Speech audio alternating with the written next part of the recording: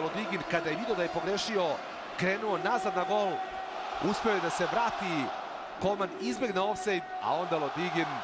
nije uspeo nikako da zaustavi futbalera Bajerna i Koman to koristi na prelep način. Dva, tri kratka kontakta sa loptom, okret i onda gotovo bez gledanja